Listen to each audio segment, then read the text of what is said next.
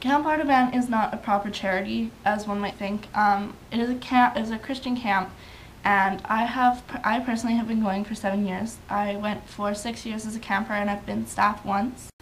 In those six years that I was a camper, I developed so many good memories that I honestly can remember. Um, I have some footage which I'll show at the end of this video of two years because they came out with a DVD, so I was able to get the footage off that.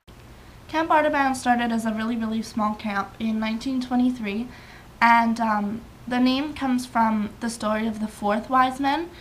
Over the years, camp has gone through a bunch of stuff. I think there was one year there was a flood that they went through, and um, so a bunch of the buildings had to get rebuilt.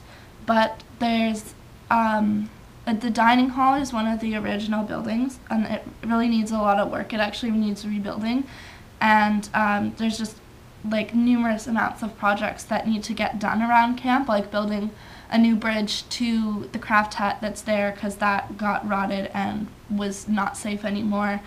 And there's to be done around camp. So if you want to donate money to that, um, there will be a link down there and you'll be able to go to another site. It'll direct you to another site to donate some money.